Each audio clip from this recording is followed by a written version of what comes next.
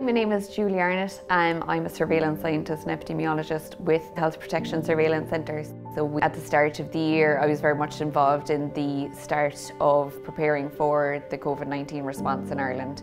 So I built up the surveillance system. So I was preparing the case forms, case definitions, and then the database for programming the computerised infectious disease reporting system.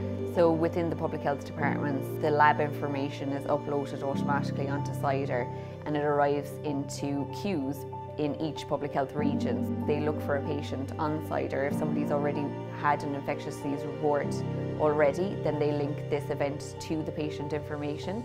But if they don't, they have to make create a patient on the system. And then there is an added aspect of the enhanced information that we get from the contact tracing centres.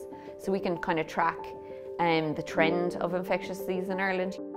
So the objective of the RPA process was to relieve the burden felt by the public health departments. And um, so the scientists are highly trained individuals whose time was taken up with all of these laborious processes. So time was taken away from them in terms of outbreak investigation or being involved in mass screening programs or providing a more high level response. So that resulted in 38 hours of saving per 100 cases.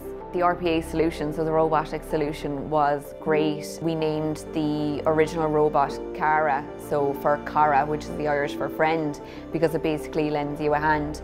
I didn't have any knowledge prior of robotics and what benefits it could bring, but I presumed it was going to operate just like another statistical analysis software, but instead of running on a program, it would run on a live environment. So I think scientists shouldn't be afraid in in um, engaging in robotic solutions where they have tedious and manual tasks that they want to take off their hands.